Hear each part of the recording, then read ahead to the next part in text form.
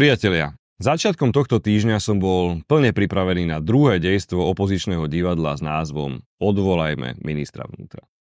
Keďže im prvé dejstvo nevyšlo, ako aj by mohlo, keďže im v kauze obvinených Čuriovcov dali nezávislé súdy 11 krát za pravdu. Skúša to opozícia s ďalším predstavením. Scenár slabý. Zápletka ešte slabšia. Cieľ rovnaký ako vždy. Zautočiť na mňa klamstvom, prekrúcaním, no a najmä nenávisťou. Poďme sa teda spoločne pozrieť, o čo tu vlastne ide. Prvý dôvod, ktorý opozícia spomína pri mojej snahe o odvolanie, je kauza študentov v maskách. Na helovínskom večierku si partia gymnazistov urobila žarty zo slovenských dôchodcov. Oblekli sa do starého oblečenia, vzali barly a palice a doplnili ho transparentom Ja milujem Fica.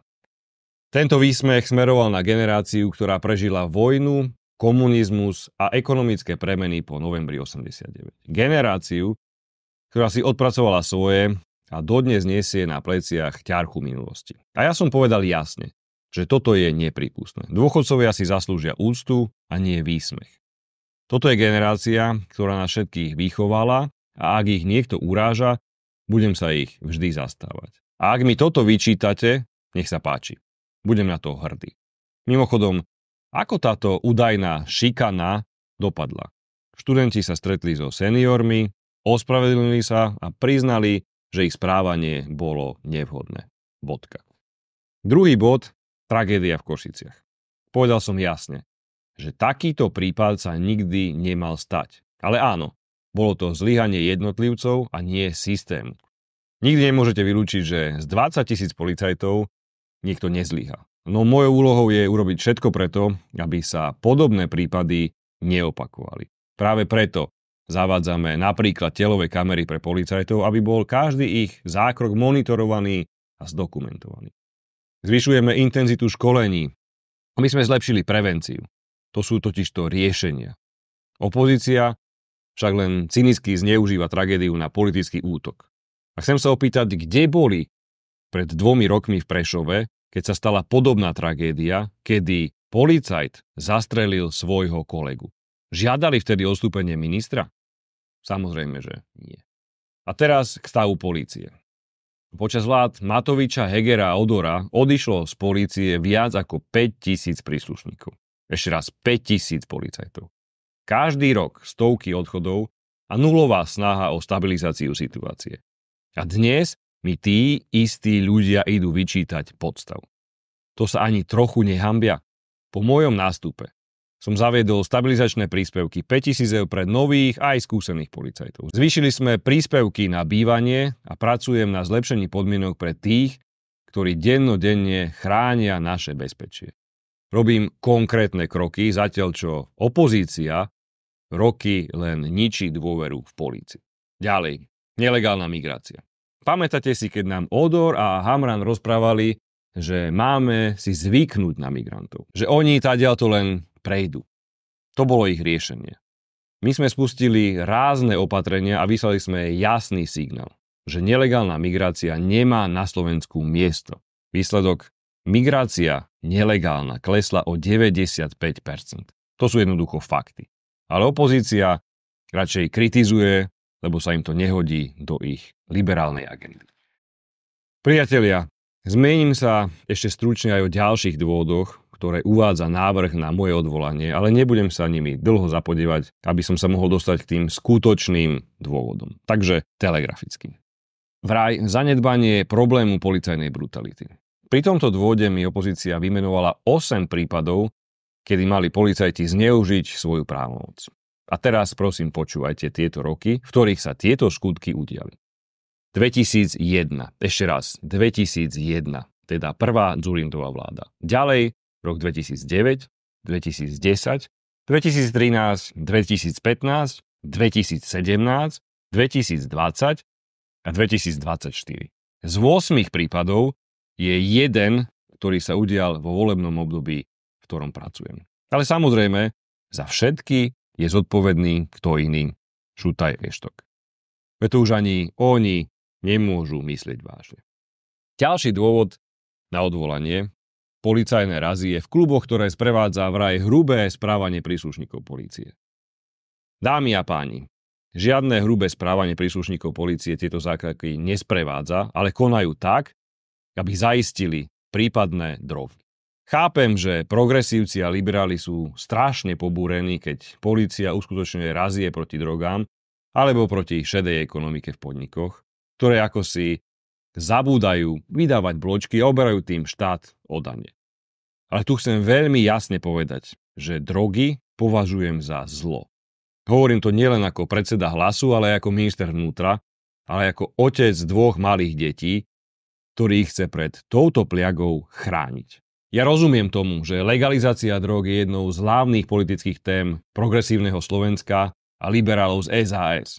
Rozumiem, že v bratislavských kaviarniach a kluboch sa schádzajú najmä ich voliči. Ale žiaľ, kým ja budem ministrom vnútra, bude polícia proti drogám a najmä voči ich priekúpnikom tvrdo zakročovať a nebude ich v žiadnom prípade tolerovať. S tým sa jednoducho zmierte. Pokračujem ďalším dôvodom. Vraj sú nedostatočné a nesystémové opatrenia voči bombovým výhrážkam, ktorým čelia školy. Viete, to je presne ten prípad, ktorých tu máme za posledný rok neúrekom. Zneužiť problém, kritizovať ho, vykrikovať, ale nepredložiť jedno jediné riešenie. Opakujem, žiadne riešenie.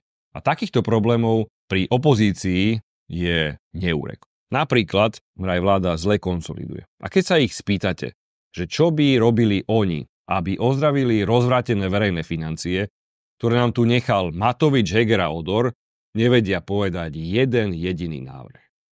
A prípad bombových rozieb je úplne rovná. Školy sú postihované výhrážkami, ktoré môžu mať svoj pôvod v zahraničí. Deje sa to nielen u nás, ale aj po celej Európe. A tak sa vás teraz, vážená opozícia, pýtam. Čo by ste robili vy? Lebo ja som prišiel s konkrétnym návrhom napríklad nainštalovať na školy bezpečnostné kamery, aby sme presne vedeli, či niekto je nevítaný v tej škole bol, alebo nie. A či teda treba brať prípadnú hrozbu vážne, alebo nie. Prosím, čo navrhujete vy? Ako by ste postupovali vy? Veď už konečne sa spamätajte. Nemôžete sa iba vytešovať s každým prieskumom verejnej mienky, ako idete vyhrať voľby a vládnuť, keď ste na to absolútne nepripravení. Poďme ďalej. Ďalší dôvod na odvolanie je zmier v prospech Andreja Babiša. Dámy a páni, neurobili sme nič iné ako to, že sme sa rozhodli minimalizovať rizika pre verejné financie. Zmier nám umožnil ochrániť štát pred finančnými nárokmi, ktoré by mohli vzniknúť, ak by sme spor prehrali, pretože už sa to stalo v minulosti trikrát, že v tejto veci rozhodli tri nezávislé súdy a dali za pravdu nie štátu, ale Andrejovi Babišovi. Uzavretie zmieru je bežná prax v prípadoch, kde sa predpokladá, že súdne konanie bude finančné a nákladné náročné. A pravdepodobnosť úspechu nízka. Podobne už postupovalo aj ministerstvo spravodlivosti za čias pani Kolíkovej v kauzách, ako je prípad Jaroslava Haščáka, kde sa uzavretím zmieru predišlo k finančným nárokom zo strany žalovaného. A teraz sa dostávame postupne ku skutočnému dôvodu môjho odvolávania, a to je zastavenie vojny v polícii a preverovanie všetkých špinavostí, ktoré sa tu za 3,5 roka vlády Matoviča, Hegera a Odora odohrávali. A to mi progresívci a liberáli nevedia odpustiť. Nevedia, pretože od začiatku boli do tejto vojny zaangažovaní oni a mali v nej svojich favoritov. Spomínate si, čo sa udialo v lete 2023? Vtedajší úradnícky minister vnútra Šimko sa pozastavil nad tým, že by Čurilovcami mali obsadiť dôležitú funkciu v inšpekcii ministerstva vnútra a začať tak vyšetrovať samých seba. Boli totiž obvinení z vážnych zločinov a zneužitia svojho postavenia. A čože sa vtedy stalo? Partička policajtov v bielých košiliach okolo vtedajšieho policajného prezidenta Hamrana si tupla a povedala, pán minister Šimko, ak nebudeš počúvať naše príkazy, hoci si náš nadriadený, pôjdeš dolu. A pani prezidentka Čaputová z Progresívneho Slovenska a pán Odor, dnešná hviezda PSK, im s radosťou vyhoveli. Odpálili vlastného ministra len preto, že si to želalo pár policajných funkcionárov. A pán Odor sa osobne ujal funkcie ministra vnútra, v ktorej nespravil doslova a do písmena nič, iba samé škody. Čerešničkou na torte skutočných dôvodov môjho odvolávania bolo však zriadenie vyšetrovacích tímov COVID a darca. A teda vyšetrovanie pandémie a darovanie zbraní na Ukrajinu. Počas pandémie zmizli stovky miliónov eur v netransparentných tendroch na rúška, testy a vakcínu. Hegerová vláda darovala našu vojenskú techniku bez akéhokoľvek povolenia. A teraz tí istí ľudia, ktorí sú za to priamo zodpovední, sedia v opozícii a robia všetko preto, aby sa tieto kauzy nedostali na povre. Dámy a páni, to sú skutočné dôvody, pre ktoré ma chce opozícia odvolať. Nie preto, čo som nespravil, ale preto, čo som urobil.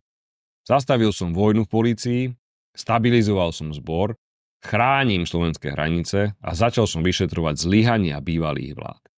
Ak ma chcete odvolávať za to, že robím poriadok tam, kde ste vy roky zlyhávali, nech sa páči. Ale majte aspoň toľko politickej zrelosti, aby ste vedeli pokračovať schôdzi, ktorú ste si sami zvolali. Inak sa stane presne to, čo včera. Vládna koalícia, ani ja, vám vo vašich divadelných predstaveniach asistovať nebudeme. Slovensko totiž potrebuje stabilitu a pokoj. A ja v tejto práci neprestanem.